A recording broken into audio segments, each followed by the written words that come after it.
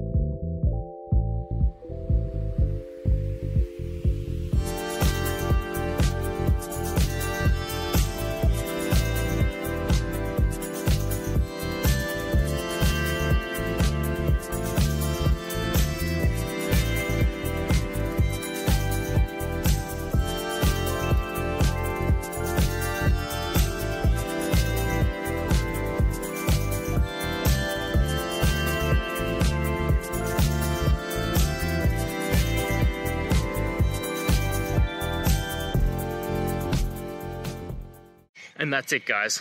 I hope that video helped find the resolution you're looking for. If it did, please I'd appreciate it if you could hit subscribe. Until the next time you need more technical help, I hope you have a good one. Cheers.